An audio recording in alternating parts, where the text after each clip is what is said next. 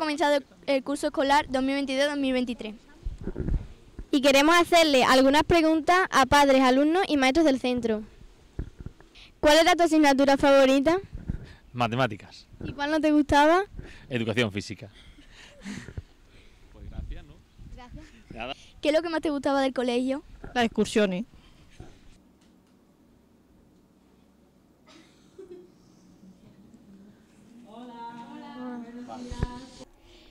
¿Cuánto tiempo lleva en el colegio de Campillo?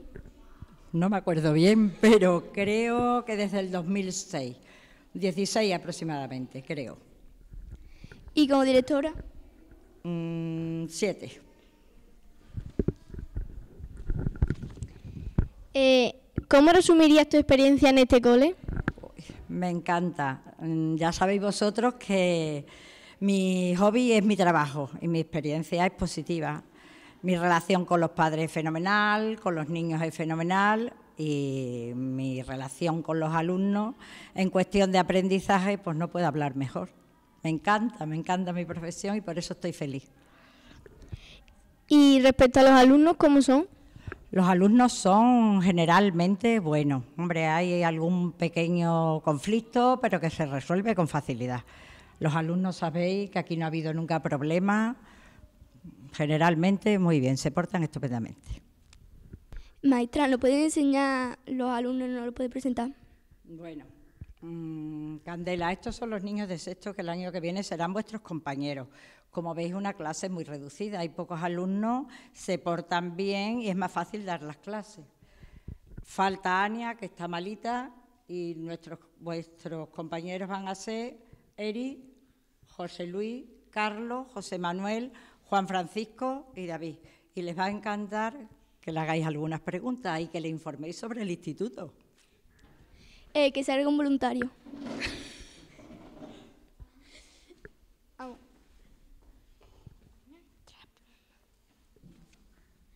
¿Cuál es tu asignatura favorita? Matemáticas, ¿Y cuál no te gusta? sociales, ¿Cuál es el próximo examen que tenéis?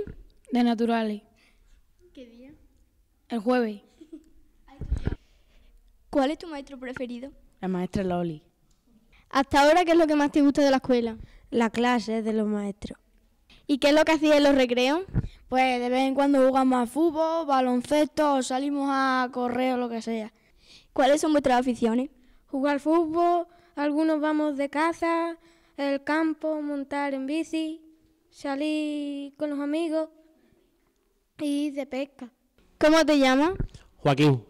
¿Y cuáles son los proyectos que tenéis en el centro? Bueno, pues llevamos varios proyectos, todavía estamos empezando a, con ellos. En un primer momento estamos con Cultura Emprendedora, en la cual los alumnos de quinto y sexto, pues es- vamos a montar una cooperativa. Estamos viendo qué necesidades tiene el pueblo para poder montar una cooperativa. Y después además también llevamos lo que en esta clase estamos también trabajando la robótica. Con ellos este primer trimestre estamos trabajando lo que sería el lenguaje de robótica, como es con un robot adelantar, torcer, girar a la izquierda, a la derecha. Además también Librarium con la lectura y un club de lectura que vamos a empezar a trabajar con ellos porque estamos con la lectura que es súper importante y además también estamos llevando a cabo eh, foros nativos digitales con los alumnos de sextos y quintos para trabajar lo que sería el ciberbullying, que tengan conocimiento que es y saber decir que no en aquellos momentos en los cuales alguien le diga que puede hacer alguna actividad y ellos no quieran. Y bueno, son los proyectos que estamos llevando aquí ahora mismo en el centro. Eh, buenos días, hoy nos encontramos con el maestro de educación física del colegio. Te vamos a hacer unas preguntas. ¿Cómo te llamas? Pues me llamo Antonio y soy el maestro de educación física de aquí del Cole de Campillo, como vosotras bien sabéis, a pesar de que soy de Hornacho, pero trabajo aquí en Campillo. ¿Nos puedes contar dónde estamos? Pues estamos precisamente en el pabellón cubierto de, mm, del centro, donde realizamos las actividades deportivas normalmente siempre que, que el- la atmósfera nos deja. Si hace mucha calor, nos entramos dentro y si hace mucho frío, pues también. Pero sí que es verdad que intentamos utilizar el patio exterior para, para realizar las clases también. ¿Nos puedes contar algún deportista famoso que haya pasado, que haya sido del pueblo? Pues bueno, pues que yo conozca, eh, un deportista importante que ha pasado por Campillo y que es de Campillo fue Agustín Izquierdo, que fue, fue jugador de, mm, de fútbol y posteriormente entrenador, mm, en concreto creo que fue entrenador del Badajoz, del Club Deportivo Badajoz. Y actualmente creo que está trabajando de entrenador en, en China. Y también tenéis otro jugador de fútbol importante que es Cortés, que ahora mismo desconozco dónde, dónde está mm, jugando. Y bueno, y los futuros deportistas que esperemos que salgan después de haber tenido una buena preparación en el colegio.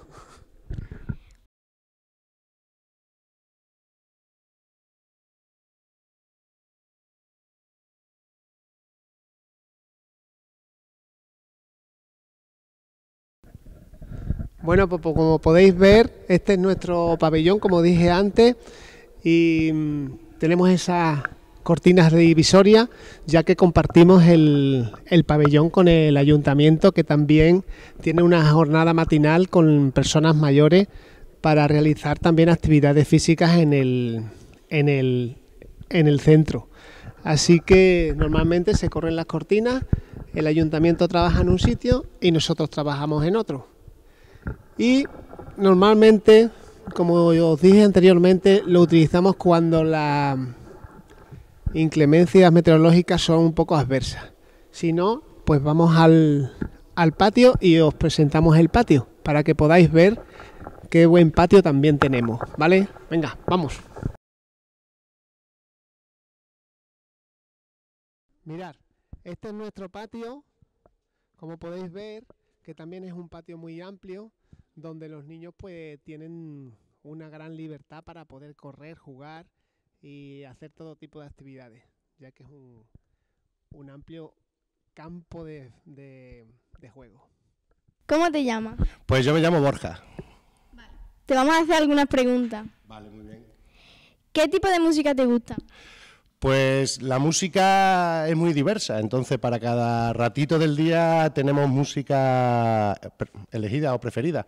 Para estar con mis amigos pasándolo bien me gusta la música rock, para estar en casa relajado me gusta la música clásica y luego soy un amante de la música tradicional extremeña, del folclore.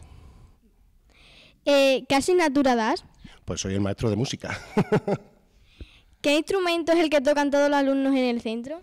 Pues ahora hemos vuelto, después de los años de COVID, a tocar un poquito la flauta, que la teníamos un poquito abandonada.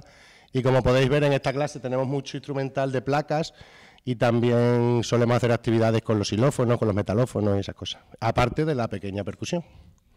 ¿Y qué canción es la que más le ponéis? Pues ahí tenemos un problema, porque cuando tú le preguntas a un niño qué canción quiere escuchar o qué canción quiere tocar, siempre piden reggaetón. Y bueno, intentamos que sea un poquito variado de todo. Ahora que estamos en épocas navideñas, pues trabajamos villancicos. Según que el curso también hemos trabajado un poquito de música de la Edad Media. Cuando llegue la Semana de Extremadura trabajaremos folclore, en fin, un poquito de todo. ¿Sabías decir alguna canción tradicional de Campillo o que pongáis aquí en el colegio en algunos días de fiesta? Pues la verdad que de Campillo no conozco ninguna, ninguna canción tradicional. Y, bueno, en otra etapa en este colegio, pues sí que hicimos mucho folclore, algunos villancicos, y hicimos uno muy bonito se llama La Nana Recién Nacido.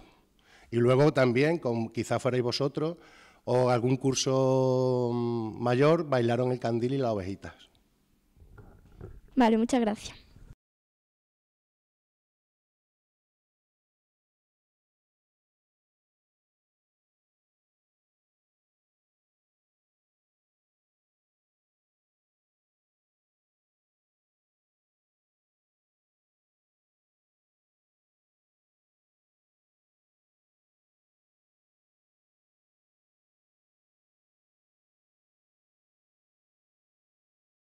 Bueno, maestra, ¿nos puede explicar sobre qué tenéis aquí? Bueno, mm, como tú sabes, todos los años el colegio organiza un mercadillo dedicado a alguna causa solidaria.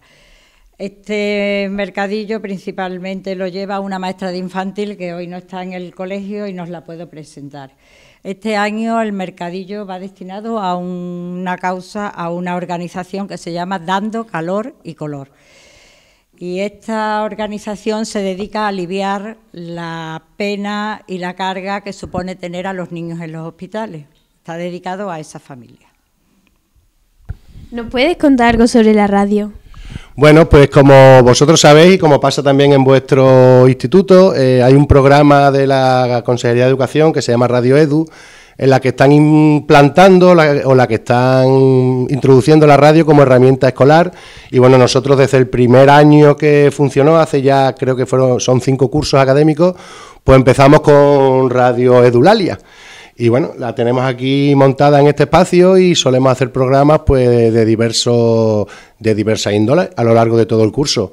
Eh, lo que llevamos de curso este año, pues hemos hecho dos programas, uno que hice yo dedicado a Santa Cecilia, que es la patrona de la música, donde los niños cantaron canciones y tocaron flauta, hicieron diferentes actividades musicales. Y también hicimos otro programa para Halloween, que mm, con el compañero Joaquín pues hicieron como un concurso de relatos de terror y vinieron a leer los, alumnos que habían ganado. Y a lo largo del curso, bueno, pues haremos diferentes programas para que para que los chicos y chicas del colegio pues conozcan lo que es una radio y, y así disfrutan, igual que seguro que hacéis vosotros con vuestra tele y con vuestra radio. Bueno, muchas gracias. A ti. Buenos días, estamos aquí con la maestra de 5 años para que ella nos cuente cómo trabaja y cómo su día a día. ¿Cómo te llamas? Hola, buenos días. Me llamo Ana, soy de Ribera del Fresno y estoy aquí ya en Campillo porque aprobé la posición en 2019, entonces estoy muy contenta y cuando me dijo la directora que ibais a venir, pues yo encantada. Si quieres vamos a preguntarle a los niños qué están haciendo y cómo trabajan. Vale. Hola, ¿cómo te llamas? Antonio Novaro Caballero. ¿Y qué estás haciendo? Pinchando. ¿Y cómo se pincha? Muy bien. ¿Te gusta el cole? Sí. ¿Por qué? Me, que me gusta jugar fútbol. Muy bien. ¿Cómo te llamas? Rica. ¿Y qué estás haciendo? Pintando un bisonte. ¿Y por qué estás pintando un bisonte? que lo tengo que pintar. Y se cuéntale tú, ¿qué, estamos haciendo? Mire qué son, enséñaselo tú a la cámara. Mira, mira, explícale lo que es. No, pero allí, allí está la cámara. ¿Qué son? ¿Qué son esos animales? Horizonte. Horizonte. Horizonte, horizonte. ¿No quieres contar algo? Cuéntale lo que haces tú en clase. No quiere. Qué niño, qué bueno. No quiere ni hablar hoy. Miguel, cuéntale qué hacen los bisontes allí en la prueba. ¿Por qué lo pintaban? Cuéntaselo, Miguel. Iban a, a cazar los bisontes. ¿Y lo pintaban en la cueva para qué? Para cazarlo. Para hacer magia, claro. Y cazar muchos bisontes. Alejandro, ¿y tú qué estás haciendo? Cuéntame. Pi ¿Qué animales son los que estás picando?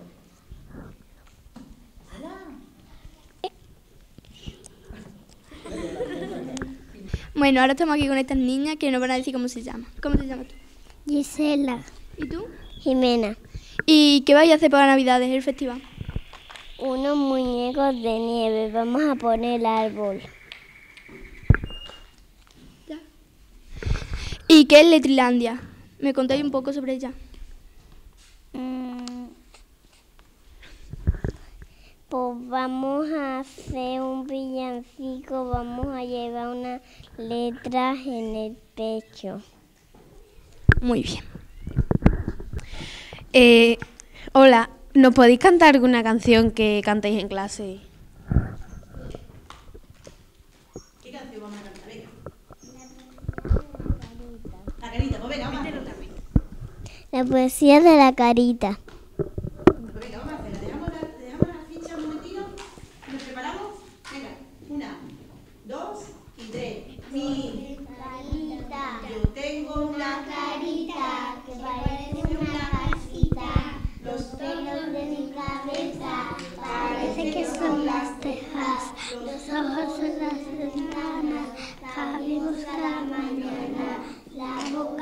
Una puerta que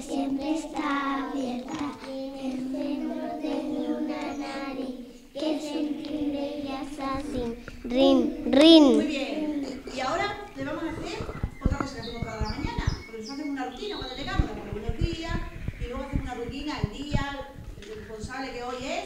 ¿Quién es hoy el responsable? Antonio Caballero. ¿Y algo especial que hagáis todas las mañanas? Mira, estos niños en infantil siempre tienen una rutina diaria. Entonces entramos, nos saludamos con una canción de- del saludo, de buenos días, y después elegimos al responsable, que hoy es Antonio. Y Antonio Caballero hoy ha sacado la lluvia, porque esta mañana estaba lloviendo, y ha puesto la lluvia, que es el tiempo, el día de la semana, la hora a la que entramos, que está marcado las nueve, el día, etcétera. Entonces, luego hacemos cada día la poesía, la poesía de la carita, la del invierno, la que toque. Y también repasamos el lenguaje de signos, porque nosotros estamos aprendiendo a hablar como los sordomudos, que los sordomudos no pueden hablar, ni, ni escucha. Entonces vamos a trabajar el lenguaje de signos con las manitas. Manitas arriba, venga, que vamos a hacer los colores. Todas arriba, manitas arriba. Vamos, empezamos. Y vamos a ir diciéndolo. Una, dos y tres. Rojo. Amarillo, rosa, blanco,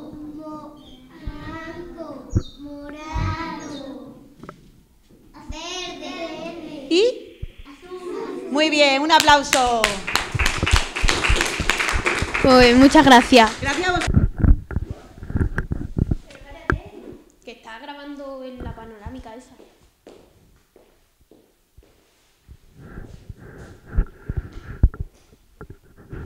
¿Y esto lo vamos a montar nosotros después? Estamos con Amalia, que nos va a contar un poco sobre la nubeteca. Hola Amalia, ¿cuántos años lleva la nubeteca? El proyecto Nubeteca empezó en el año 2015. El proyecto Nubeteca es una biblioteca en la red. Ahora, a partir del año 2020, con todo esto de la pandemia, ha sido una cosa muy urgente el sacar lo que son los libros de los espacios nu- de la biblioteca al exterior.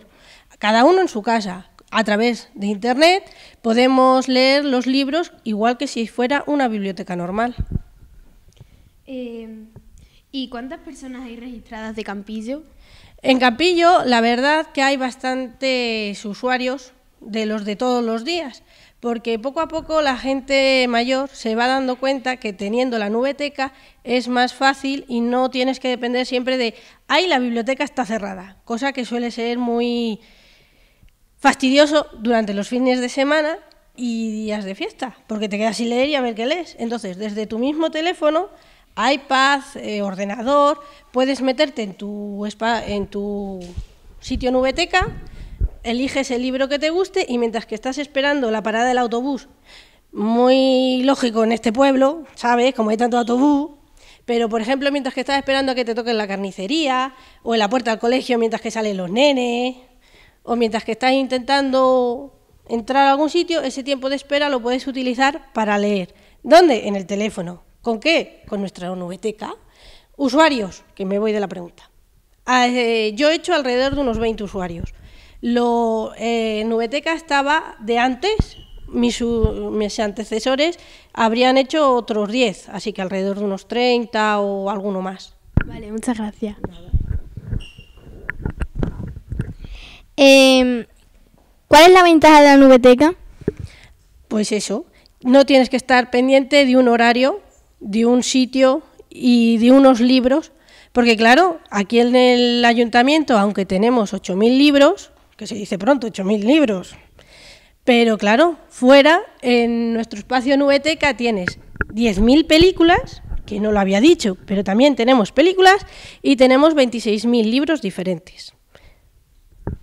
Eh, ¿Crees que la nubeteca es importante para un pueblo como este, que es muy pequeño? ¿Y por qué no?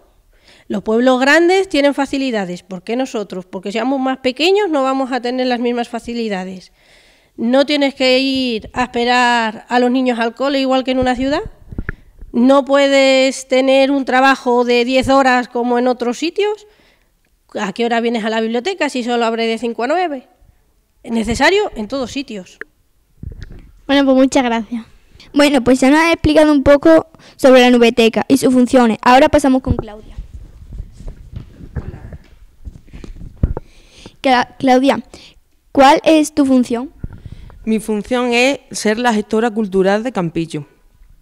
¿Cuál será la próxima actividad importante que se realice en el pueblo? ¿Nos la puede explicar un poco? Sí, ahora estamos con la agenda cultural navideña y mm, hemos tenido la inauguración del alumbrado navideño, hemos tenido un tren, no sé si te habrás montado en el tren, eh, chocolatada, pasacalle, con, con, zan- con, con esto de burbuja, ¿cómo se llama esto?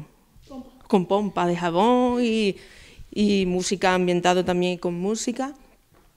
Y ahora también eh, hemos tenido un teatro y lo que nos queda por hacer es el portal viviente que tenemos que montar, estamos- vamos ahora a montar un, un molino y vamos a retocar las diferentes, el diferente atrezo que hay para poderlo hacer el día 29. También tenemos la cabalgata de Reyes y un concierto de música que hay. Vale, pues muchas gracias. Esta sección es la sección de novelas.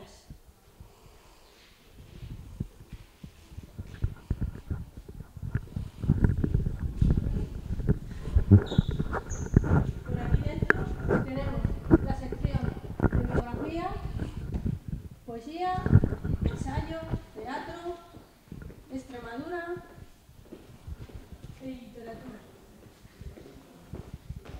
Bueno, pues nos varía.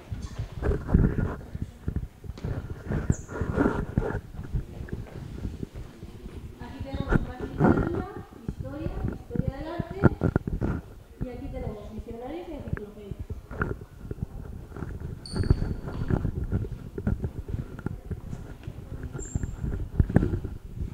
En esta banda tenemos las ciencias sociales, naturales, políticas, deportes, naturaleza y esta sección es la sección de novelas antiguas.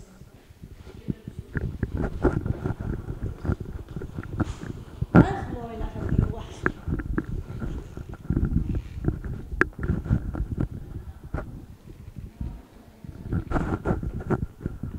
Infantil.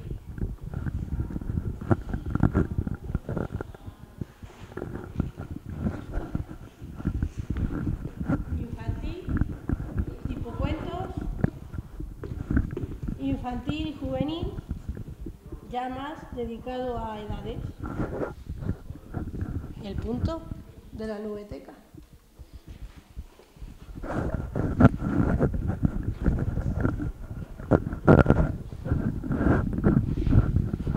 Más novelas antiguas, nuestras maletas, nuevas adquisiciones o novedades y los libros de intercambio de, del pueblo. Lo llaman no sé cuánto. ¿Qué va a hacer el viernes? El viernes tenemos que venir. Ya, ya. A ver, Mau, vale. y nuestras manualidades.